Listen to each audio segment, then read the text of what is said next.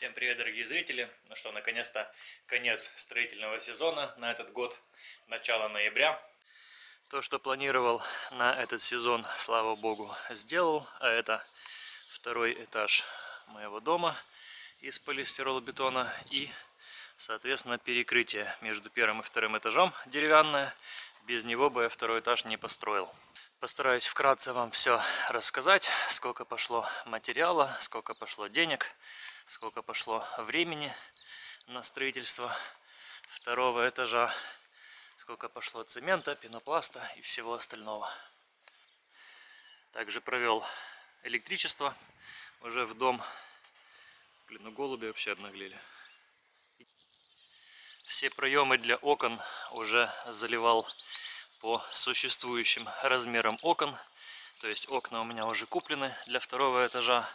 Купил БУ, недорого, хорошие энергосберегающие окна. Метр семьдесят на метр пятьдесят, метр семьдесят на метр пятьдесят. Здесь метр восемьдесят на восемьдесят. И здесь большое панорамное, 2,16 на метр восемьдесят. Там будет цельное окно. От ступеньки лестницы будет начинаться и до самого верха. Окно будет из двух частей. Серединка будет у меня Такая там кусочек стекла идет. Я его затонирую, чтобы не было видно армопояс с этой стороны. Так, значит, по материалам.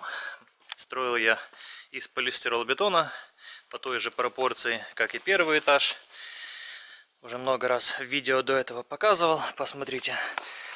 Значит, с 500 цемента, вот таких вот мешков по 25 килограмм, у меня пошло для второго этажа 205 мешков. Значит, пенопласт, вот все, что осталось. Здесь у меня осталось 9, 9 мешков.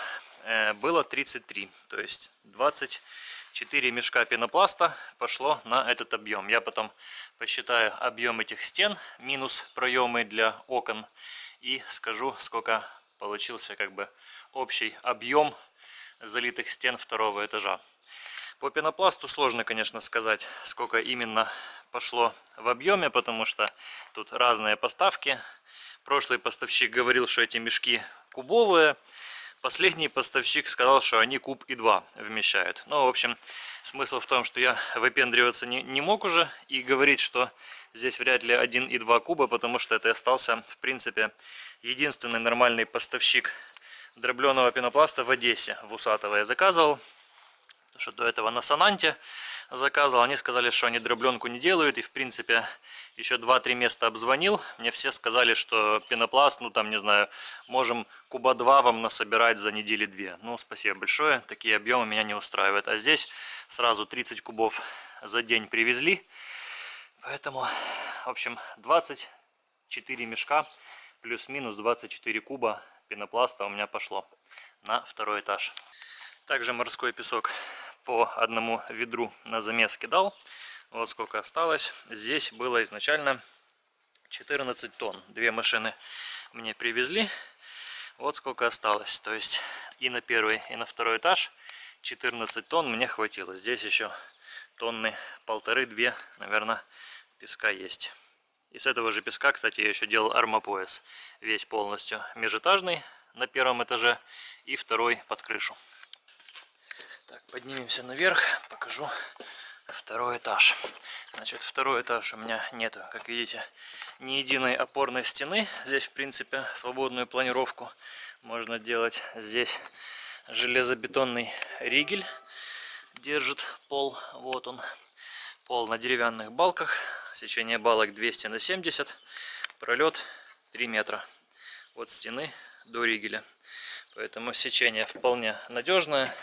Сейчас доски немножко играют, потому что они все не прикрученные у меня, просто лежат, только краешки прихватил, чтобы не сдвигалось.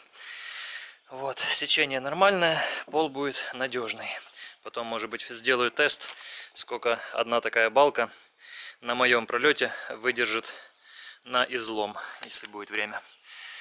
Значит, высота стен потолка 2,55 Плюс еще маурлат. Посмотрим, там 50-70 миллиметров ляжет. Вон шпильки уже везде замонолитил под крышу. Крыша будет двухскатная. Вот так вот будет идти.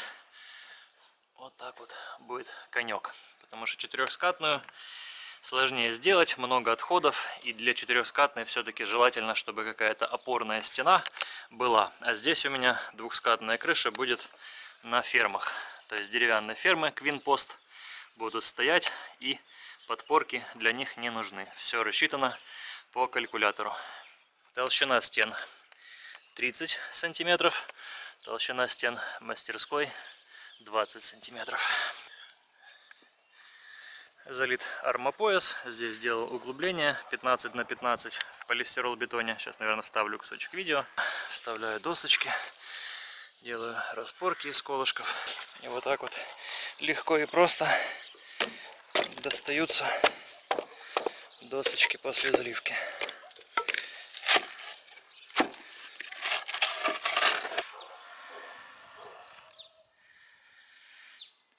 На солнышке хорошо видно, как фибра распределяется в растворе. По-моему, ее вполне достаточно. Трехметровая арматура по 4 штуки. Заливаю железобетонный армопояс. Все как положено. Значит, шпильки сразу устанавливаю на высоту мауэрлата с запасом. И все, замонолитил шпильки.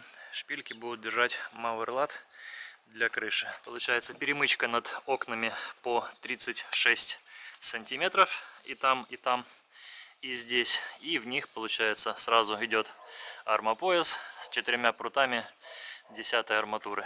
Все надежно и крепко будет. В этом году, если еще все будет хорошо, дай бог, постараюсь успеть залить фронтоны. Фронтоны буду заливать, наверное, кубиком, а потом уже срежу по существующим фермам. Либо наоборот, сначала обрежу, а потом сделаю по этому уклону фермы. Посмотрим. Такой вот щит придумал, потому что туда вот упасть стрёмненько на бетонную лестницу, поэтому закрывал. Вот такие вот каскадерские приспособления приходится делать. Струбцинка закручена в доску, чтобы не сдвинулась лестница. Вот так вот заливаю.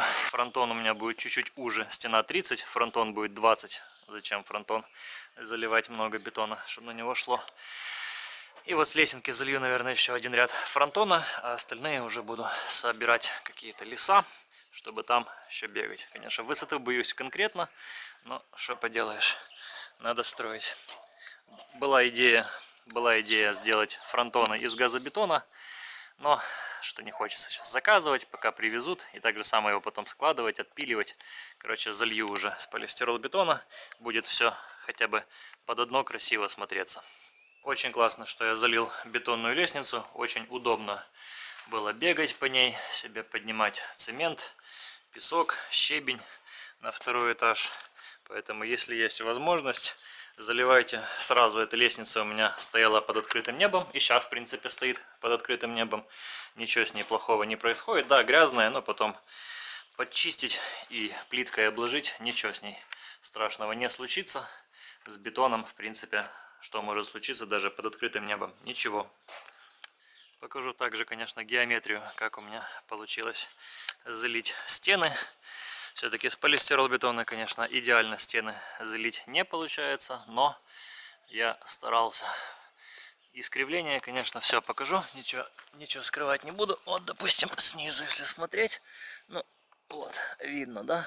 То есть небольшие, там, до сантиметра, до двух. Иногда искривление на углах дома присутствует. Не только на углах, где-то опалубка чуть-чуть выгнулась, где-то прогнулась.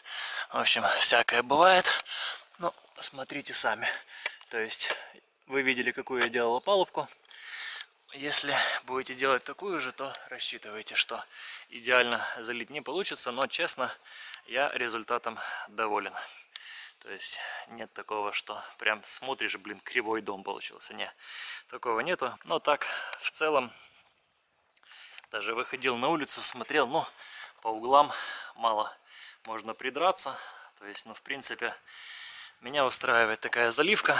По углам я в любом случае сделаю с пенопласта с десятки какие-то декоративные откосы которые вообще скроют начисто любые искривления стены. Так, в принципе, я заливкой доволен. Также по горизонту, он выступает второй этаж дома, да, это первый этаж мастерской. То есть, ну, схождение неплохое. Получается, я же говорю, я доволен, в принципе, заливкой. Покажу самое кривое место в моем доме. Вот здесь вот почему-то получилось, туда вот завалилась стена. Вот, видно, да, сантиметра два над армопоясом стена ушла внутрь. Но опять-таки, я говорю, сделаю окантовочку на окнах, так же само, как на углах дома. И пенопластом это все скроется. То есть можно довести до идеала если захотеть, даже такую вот заливку. Я не скажу, что она кривая заливка, но это, конечно, не, не идеально по сравнению с газобетоном, если из газобетона собирать дом. Осталось собирать на крышу. Крыша будет дорогая, потому что две, две крыши. Одна крыша над домом, вторая над мастерской. Над мастерской еще подумаю, или двухскатную, или, может быть, просто односкатную, какую-то простенькую крышу сделаю, да и порядок. Уже после того, как сделаю крышу над домом, займусь полами. Буду делать стяжку. Сначала черновую, потом с теплым полом. Надо будет канализацию тоже заняться, провести, вывести, выкопать ямы. В общем, работы еще целая куча. Ну а на этот год то, что планировал, еще раз говорю, слава богу, я сделал. Стены второго этажа есть перекрытие есть. Да, приходится оставлять их под открытым небом. Ну, может, дай бог, весной, не знаю, насобираю, не насобираю на крышу. Постараюсь насобирать. То тогда крыша уже над домом будет. Уже дерево можно будет обработать. Оно портиться не будет. Окна тоже можно будет вставить. Из 10 окон на этот дом у меня 8 уже есть. То есть мне нужно осталось еще всего два окна приобрести. Или БУ. БУ сложно найти. Одно вот ванну. Такой нестандартный размер, поэтому сложно его сюда найти. И одно в мастерскую. У меня вот это вот окошечко осталось. Все остальные окна уже куплены. Состояние опалубки после второго этажа, конечно, уже оставляет желать лучшего. Уже уголки все пооткрашивались все, где я шпильками затягивал.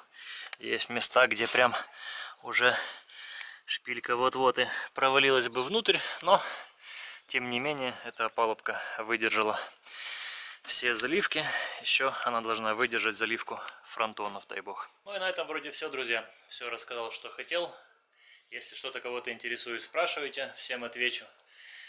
Вроде вот так вот на этот год все. Спасибо большое за просмотр, за поддержку. В новых видео увидимся. Всем мирного неба, хорошего дня. Пока-пока.